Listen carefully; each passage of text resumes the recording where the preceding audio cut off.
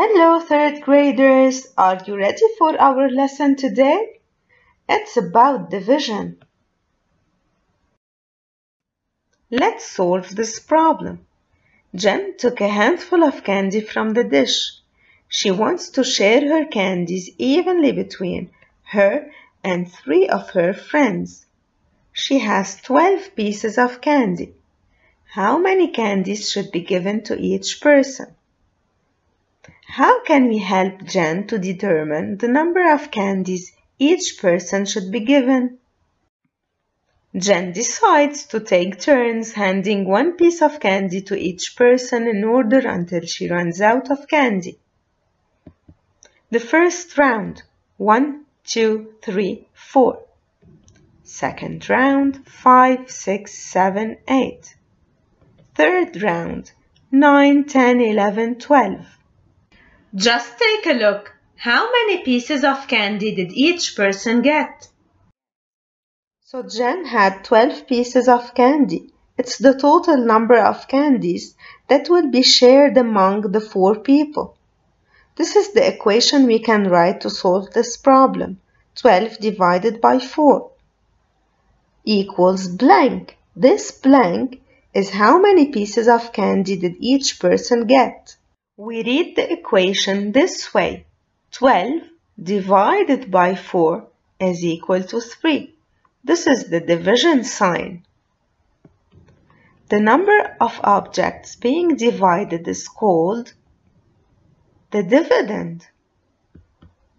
The number by which another number is being divided is called the divisor. The answer to a division problem is called the quotient. This is another way to show a division problem. Can you label the parts? 12 is the dividend, 4 is the divisor, and 3 is the quotient. You know there are many ways to solve a division problem. We can use equal groups, repeated subtraction, arrays, or we can consider a related multiplication fact. Let's model equal groups in order to solve 20 divided by 5. First, we have to determine the number of groups needed. The divisor tells how many groups are needed. Five circles to show the five groups. The dividend, which is 20, is the number of counters that will be shared evenly among the five groups. How many counters are in each group? Each group has four counters. One, two, three, four. So the quotient is 4. 20 divided by 5 is equal to 4.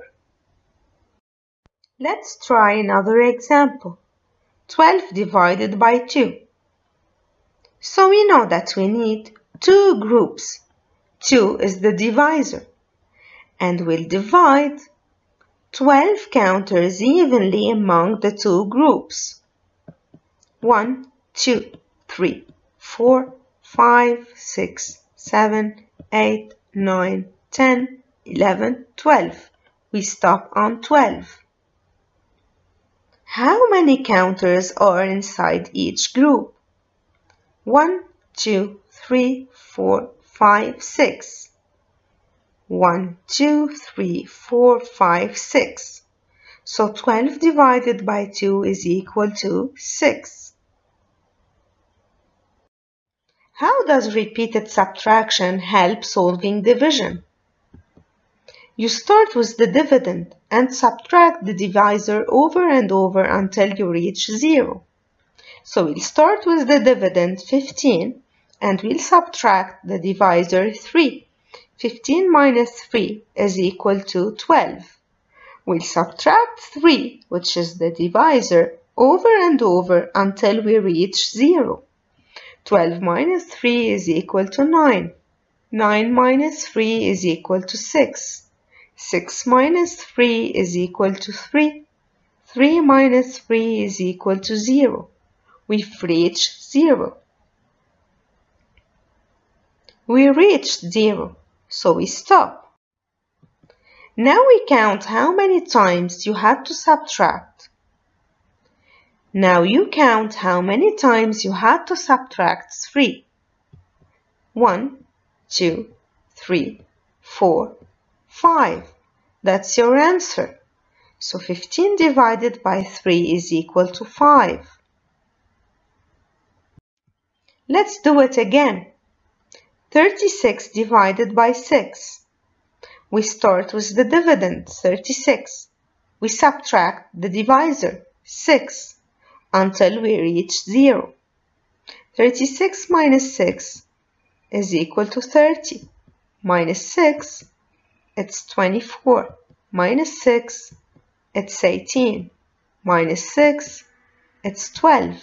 Minus 6, it's 6. Minus 6, it's 0. Now we count how many times we had to subtract. 1, 2, 3, 4, 5, 6. We subtracted 6 times. We subtracted 6 times. So 6 is our answer. 36 divided by 6 is equal to 6. In this short video, you will learn how multiplication and division are related and how do you use arrays to solve division. I have 15 candies. They will be divided between three people.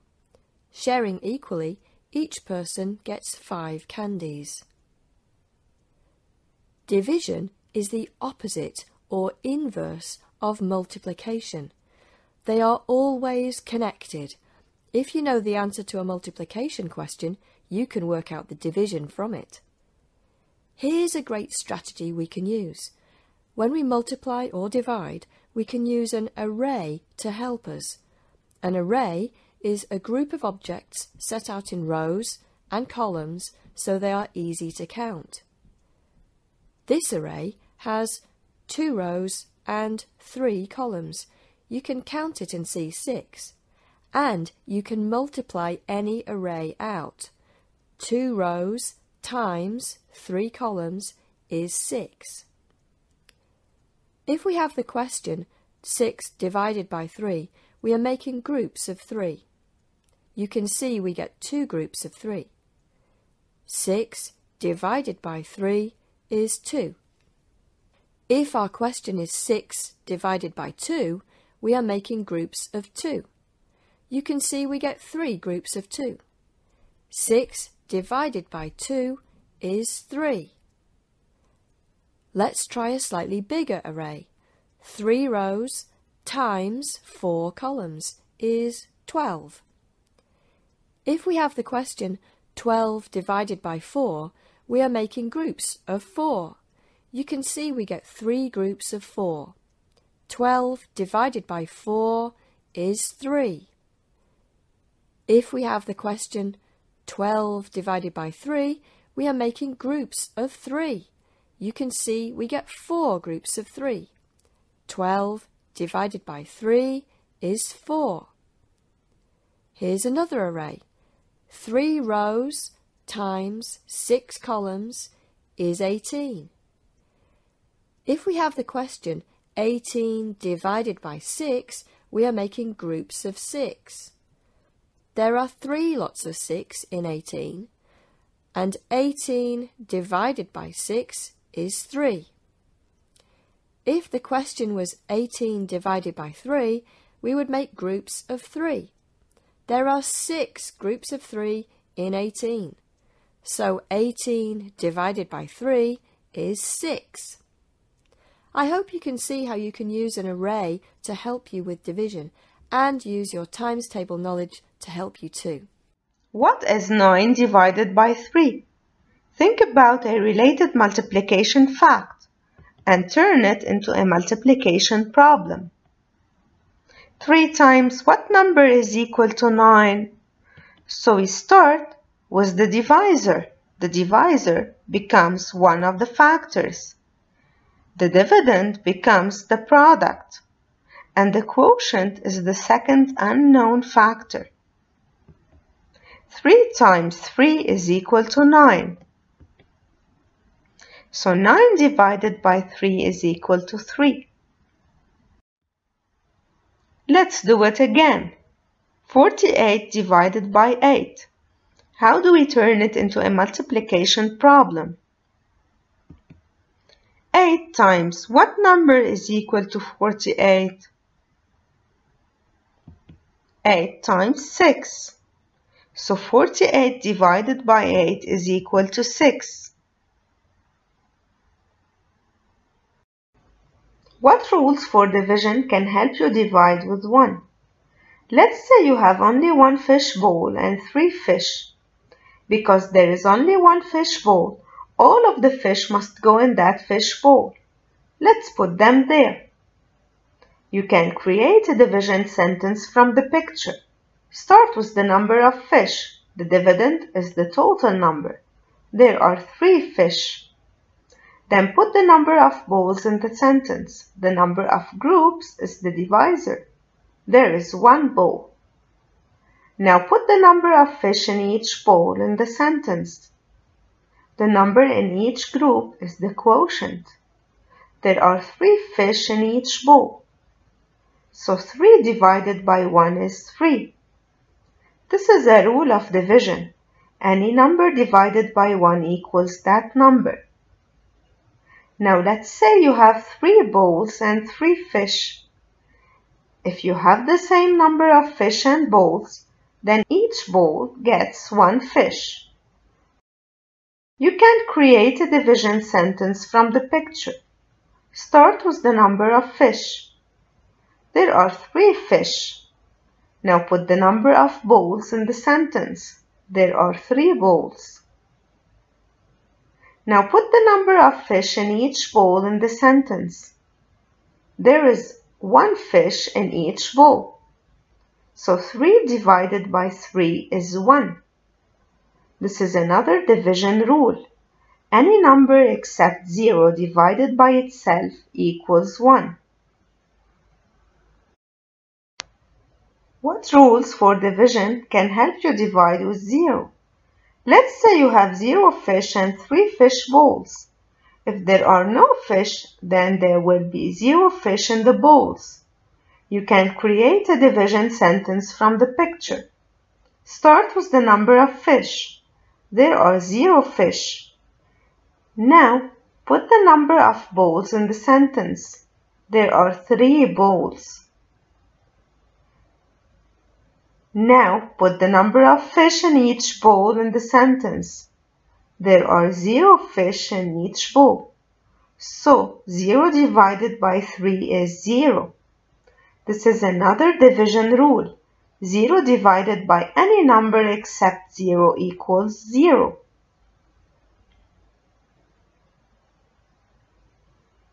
Now let's say you have 0 bowls and 3 fish. If you have zero bowls, then you can't separate the fish into bowls. This is another division rule. You cannot divide by zero. Let's solve a multi-step problem.